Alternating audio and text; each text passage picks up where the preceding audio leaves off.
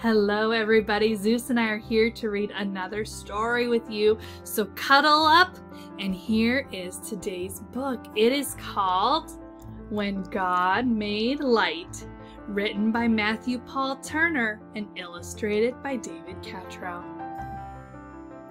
Let there be light! That's what God said, and light began shining and then started to spread. Light glared and glimmered, it flared and sparked, and wherever light shined, dark stopped being dark. In the beginning, space became bright, cause God filled it with twinkles of yellowy white. Brilliant star gleams, swirls of light streamed. In that once empty space, a galaxy beamed. When God made light, a universe lit up, a dazzling display of big shiny stuff. And all that light, every bright golden hue, is the very same light that God put inside you. Now God made the sun to light up our days, to cover our planet with light-filled rays, to make summers warm and winters not too cold, to help flowers bloom and turn wheat fields to gold, to burst in the morning at the first crack of dawn, to rise up slowly and beam across lawns.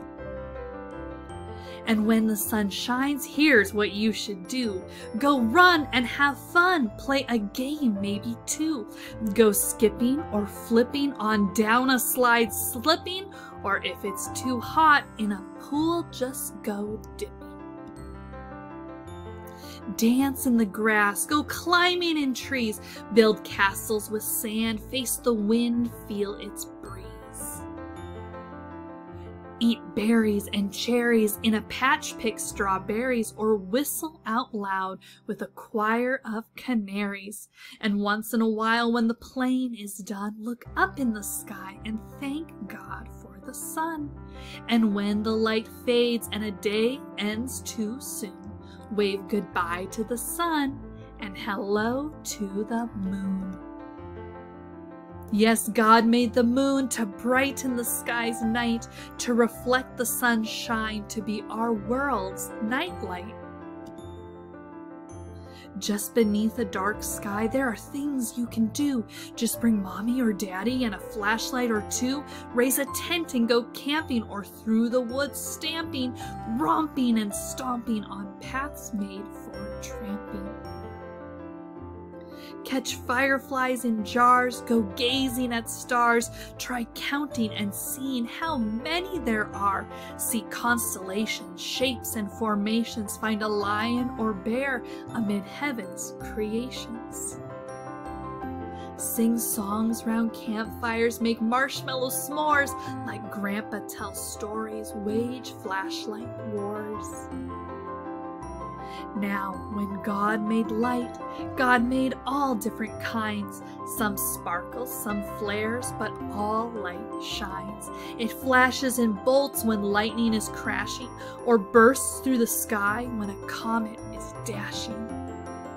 And if you ever feel scared in the darkness of night, remember the shadows are no match for God's light.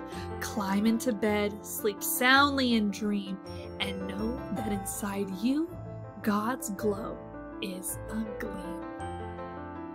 Cause you're just like the sun and the moon in the sky, as lustrous as twinkles that dazzle the eye. You're as splendid as lightning when it flashes so bright, cause on the day you were born, God said, let there So beam like the sun, glimmer like a star, and wherever you go, dark will stop being dark. Shimmer and shine, be a beacon so bright, cause when God made you, child, God made The end. Oh, I love that. When God made you, God made light. You know, it's winter time, right? Winter is coming. And have you noticed that we're getting less sunshine? Oh, it's getting dark earlier and earlier.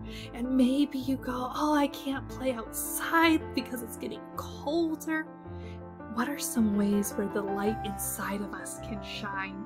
A few nights ago, we were outside looking at all of the stars because it's dark earlier, which means we get to see the moon and the stars like our story brought out. And we get to see that we get to praise God for creating all of those. And when you look at the moon or you see maybe a shooting star, is that a love letter from God? And can we remember, like our book said, that same light is glowing inside each of us, just you too, Zeus, is God's light gleaming inside of us, and we get to then share that light with others. It casts out the darkness, all of that light. All right, you have a great rest of your day, and we will see you next time.